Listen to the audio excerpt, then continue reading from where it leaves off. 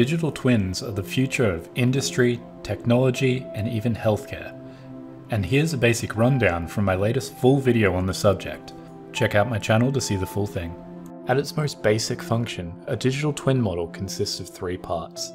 A real-world physical object. This can be anything from a spaceship to a toaster, although that would be an absurd use of such a complex relationship.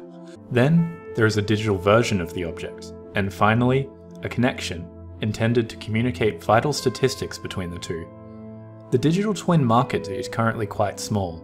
In 2020, it was valued at $3.1 billion, but industry analysts believe it is about to balloon massively, out to a predicted $48 billion by 2026.